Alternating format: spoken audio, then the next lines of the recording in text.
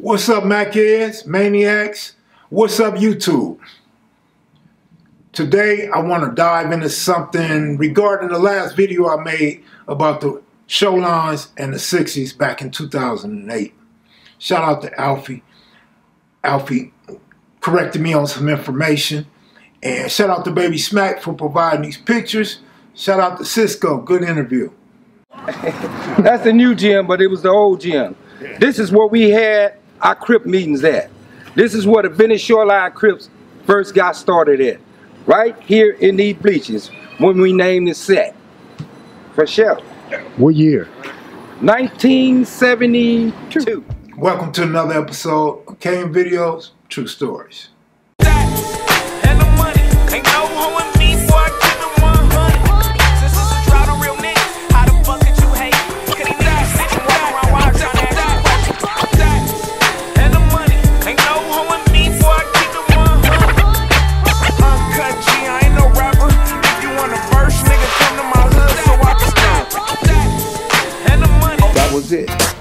I never stopped. I never stopped banging. I, I started banging hard, then I got so hard till it was a shame. Welcome to another episode of KM Videos, True, True, True, True, True, True Stories. So back in 2008, when the word around the 60s was we about to peace treaty with the Venice shorelines. The word peace treaty is like a trigger word. It makes gang members feel uncomfortable. It gets them upset. Not a whole lot of people like that term. Even back in 1992, when the term became very popular, that didn't work out with everybody for one reason or another or another. It didn't work out. So people always resort back to 92. They have these 92 stores, whether they were there or not there, right? It's just that word peace treaty that gets people all up in a frenzy.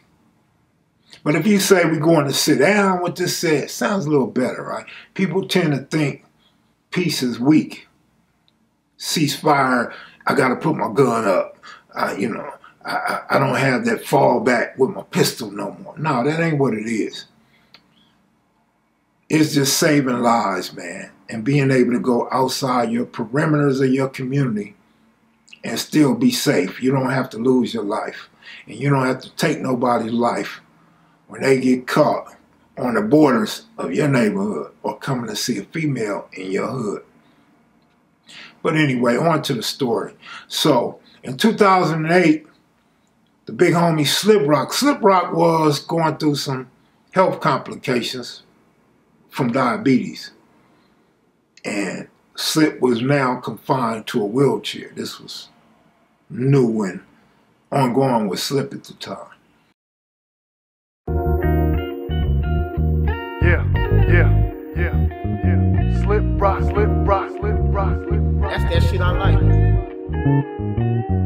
Rock, slip rock, slip rock, slip rock, slip Crib again.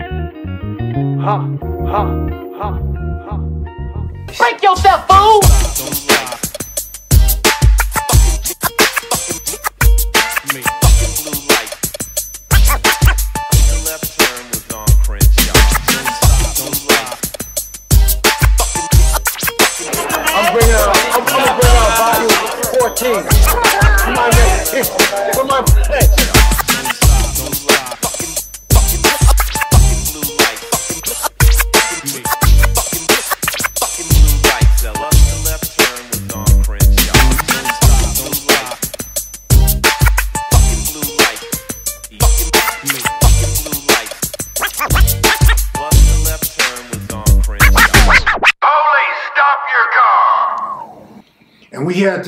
Rider named Lil Scooby. Lil Scooby was a rider. Squabbling through YA, came home, made his way up the ranks, pushing the line, had a lot of youngsters behind him. Very argumentative, would challenge the authority or those that been around pushing the line from the set. So Scooby was making his way up and was respected by many, feared by some. And so he, he had a name for himself. He made his name in the hood. Everybody knew him. He was in all over the hood, participated in all the functions. And so when Scooby get the news, Scooby just he go on one, ah, I ain't with it, I ain't with it. And he gets to using derogatory terms and all that. And everybody's looking at him like, what's his problem? Like Scooby is he's tripping.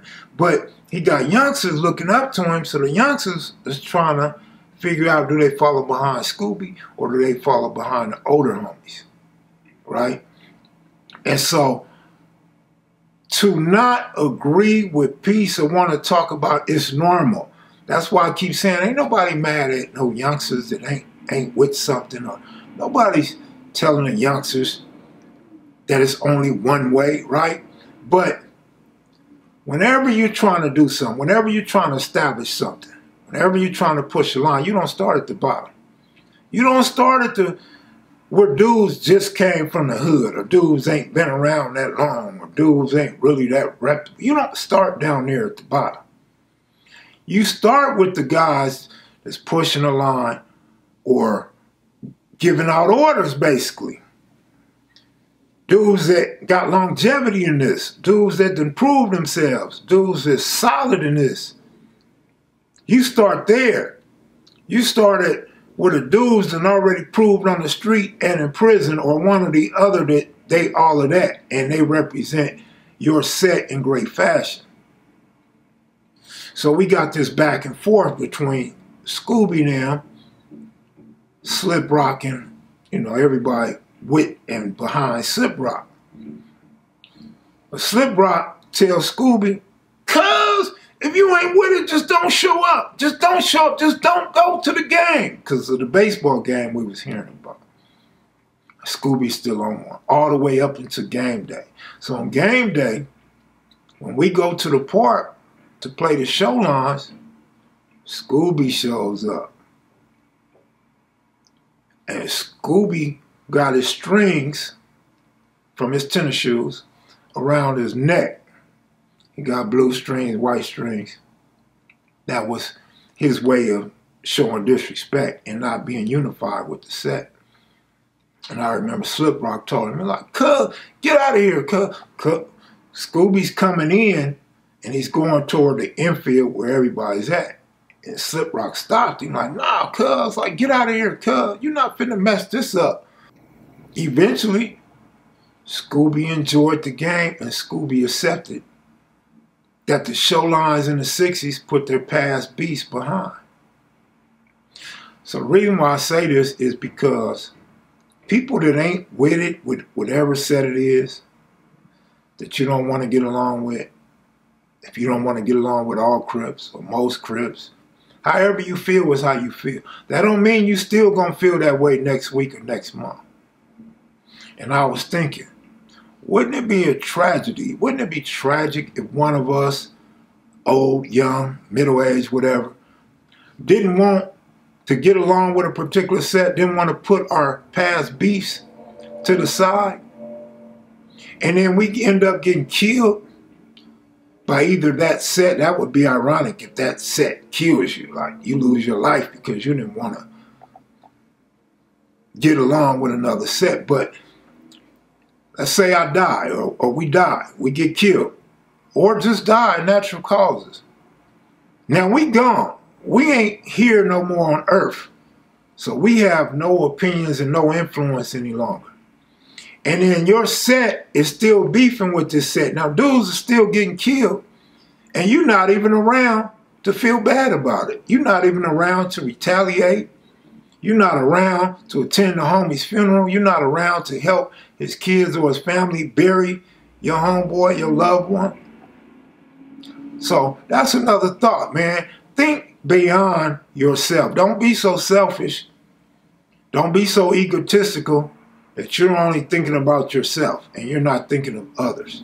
Big Slip Rock died in 2009 and Lil Scooby was killed around 2014. Somebody asked me, so how's a youngster supposed to feel when his family member or his host, close homeboy just got killed? Well, there's several ways that a person can feel. Number one, Yeah, you're supposed to feel it. That's what you're supposed to do. So if you're not with it, I understand that.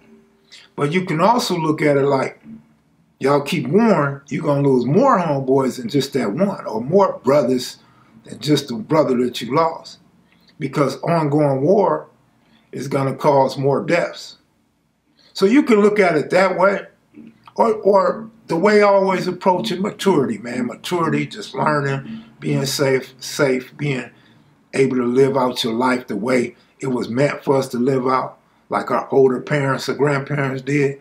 They didn't have to worry about no gang banging and getting killed by a rival or getting caught out of bounds and nothing like that. All they cared about was providing for their family and maybe getting arrested or harassed by the police. We got so much to worry about nowadays, man. I, am not here to preach to y'all. I'm sorry if I start preaching. I'm just passionate about cripping and about my blackness that I believe there is a way for everybody, man.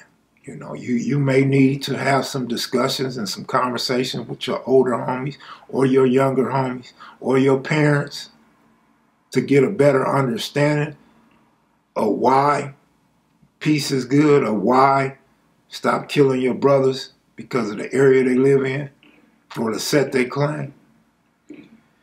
It's a much better option. But again, man, I, I can't stress this enough, man.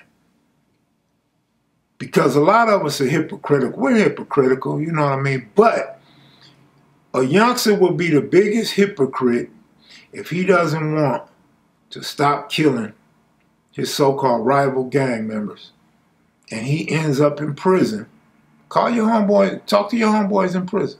Ask them. You end up on a tier with your enemy, the same set that killed your brother or your homeboy, and you're going to get along with them. Because if you won't get along with them, you're going to stab them or whatever. You're going to stay in the shoe. So you're going to be irrelevant. You're going to be obsolete anyway. If you're on the street, and what's stopping you from going over there, getting your man right now? You, you don't want to get your man. You really want peace. You just don't want to look weak. With that said, I'm out of here, y'all, man. Shout out to Alfie, Bone, Draws. Shout out to everybody, D-Mac, that bought these two sets together to where we don't beef no more, man. There's no animosity. There's no disrespect. There's no crossing each other out on walls. You know what I mean? A lot of Shorelines, I didn't mention this last time, but a lot of Shorelines was living in the hood, had businesses in the hood, coming through the hood. All of that, man. So uh, I personally am of the belief that that was a beautiful thing, and it can be more beautiful if you reach out to more sets that you don't get along with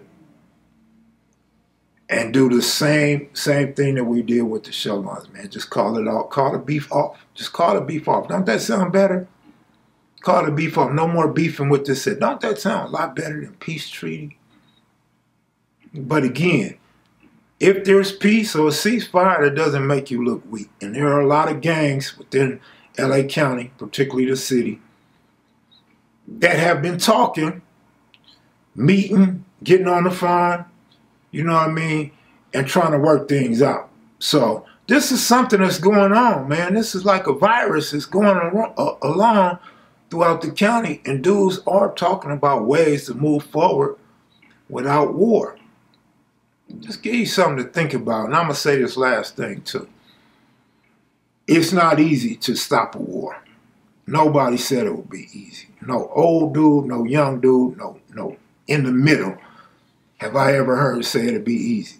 It is a difficult task, most certainly, but it's starting to work. It's starting to work. Whether your set is the last one to call peace or almost one of the last sets to call peace, it's starting to happen.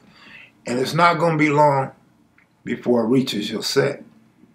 And that's a good thing for everybody, especially the innocent women and children that be getting killed because somebody want to do a drive-by and don't get their man. It's going to be beautiful for the city, man. I'm out of here, y'all. Be sure to click that like button. If you're new to the channel, please subscribe. I tell all sorts of stories here. I even give some lectures sometimes. But I salute you all for watching. I'm out of here. Salute.